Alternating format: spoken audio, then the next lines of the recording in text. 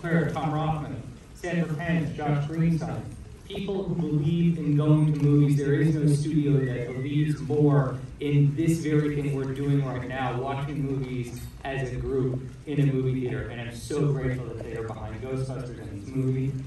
Um, yes. Um, I, I, I'm thinking about, frankly, one person tonight, it's the same person I've been thinking about since we started this movie, and that is my father. He would want to be here more than any human being on earth tonight. He loves Ghostbusters. Uh, a couple years ago, Gil and I grew up to my parents' house and we told my father this story uh, in his backyard. And he loved it. And he loved it because it was a new Ghostbusters story with a new villain and a new adventure and new characters, and, it's, and, it, and it really was a, a whole new way forward for Ghostbusters, and it brought them back to New York City, and that made him happiest the most. Um, you know, uh, five years ago, my father handed me the proton pack. Uh, it's a really scary thing picking that thing up and, and directing one of these movies, and it was the great honor of my life. And the second great honor is handing that proton pack to my best friend, my co-writer, and the genius director of the movie you were about to watch, Gil Kenan.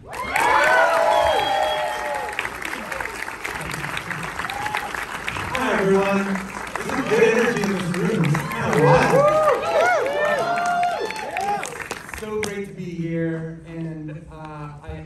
To say that um, the experience of writing now this second Ghostbusters movie with Jason, my best friend, has been like an unbelievable dream. I highly recommend working with people you care about a lot because you create work that feels like it's a continuation of the, uh, of the friendship, the trust, the joy in movies. Our, our friendship began uh, uh, a long time ago, almost 20 years ago, but was really forged on long drives we used to take talking about film and stories. And those drives developed into our first collaborations as co-writers and really led us straight to this movie theater tonight here in New York City. And I'm, I'm just could not be more excited to be sharing the stage with you. And, and also to have had a front row seat to the, um, the bond, uh, the love and respect that uh, Jason and Ivan shared on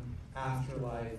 Um, I was lucky enough to tour the world with that film and to see night after night all over the world the, uh, uh, the incredible shared love for this franchise between Ivan, uh, his pride in his son Jason, and the fans that uh, showed up all over the world, bringing their proton packs, wearing their flight suits.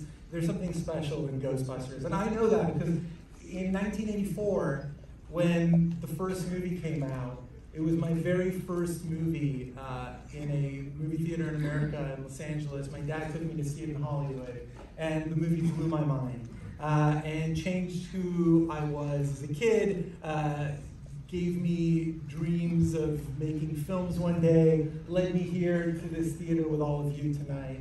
Uh, and it's, uh, it's, it's, it's an incredible honor to be sharing this story with all of you.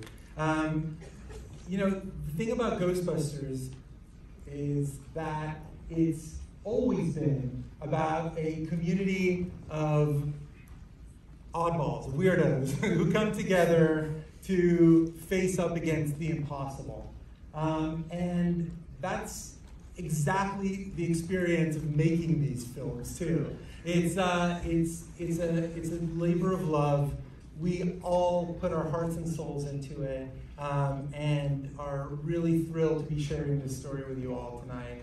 Um, I hope you love the movie. Enjoy the show.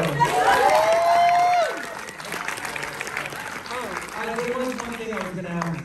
Um, who are you going to call?